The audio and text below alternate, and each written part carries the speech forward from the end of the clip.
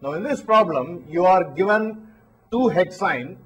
This on uh, addition will give trans 2 hexane, trans 2 hexene. You are asked to find out which of the following options, namely the four options, which one will make this cause.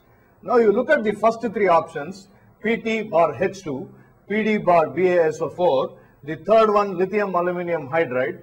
These are all reagents which promote the syn addition. Therefore, the obvious answer is the fourth answer, namely lithium bar ammonia. Now, this is the reagent which promotes trans addition and therefore the correct option is option 4.